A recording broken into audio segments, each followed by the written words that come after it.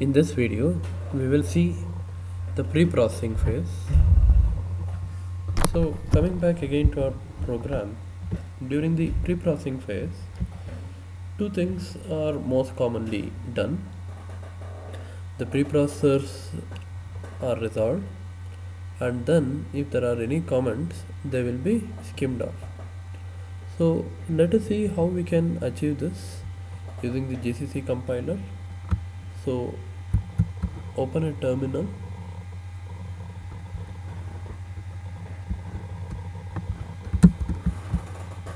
and here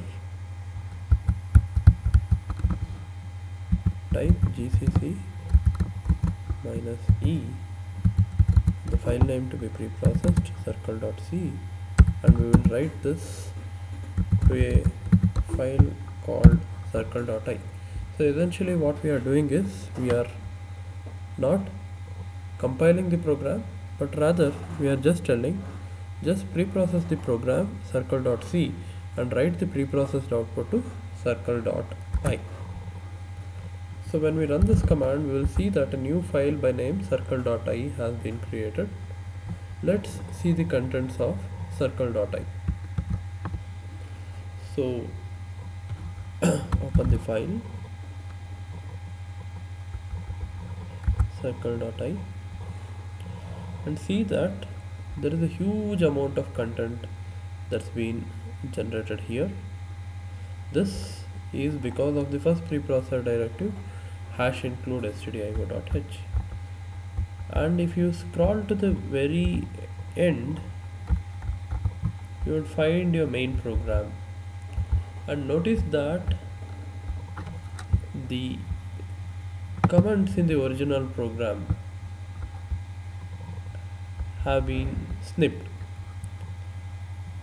So one thing that we can understand now is during the pre-processing phase the comments are snipped. Then let's again compare this to our original program. In this we had a macro definition hash define pi 3.1416 so this means that wherever you have pi in your program replace it with 3.1416 this is a simple example of a macro substitution. Now let's go to the preprocessed output. So what let's go to the function definition circular area. In the original program the definition of circular area has a reference to the macro pi. But after pre-processing you can see that pi has been replaced with 3.1416 so this shows that macro substitution also happens during pre-processing. Okay. Let's again go back to the terminal you can also use an additional option minus capital C.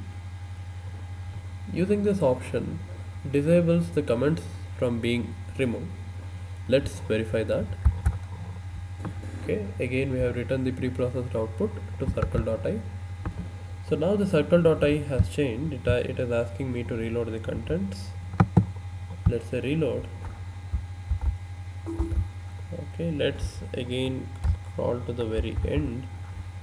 So you see that all our comments are available. They're not replaced. Okay? Uh, but usually uh, we would not want this. So we'll again pre-process it just pre-process reload it again. And now you will see that the commands have been removed. So in this video we saw how pre-processing occurs in a C program. Thank you